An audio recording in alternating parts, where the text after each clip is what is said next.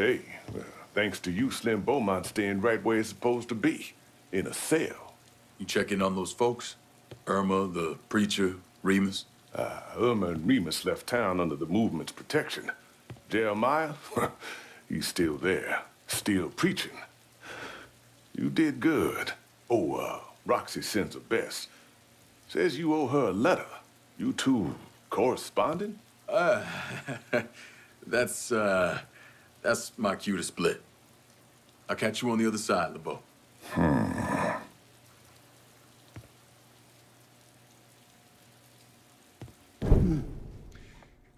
The arrest and subsequent conviction of Sheriff Walter Beaumont exploded from a story of small-town corruption to national news. You see, Beaumont named names.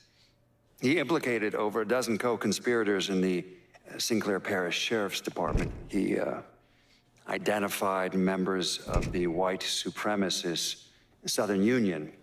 And some of those men belonged to the Louisiana political machine. Now, for his part, uh, Beaumont accepted a sentence of 15 years in prison. He served 12, most of it in solitary confinement for his own safety. Uh, he uh, was shot and killed in 1989 in the driveway of his home. There were no suspects, and no one was ever charged.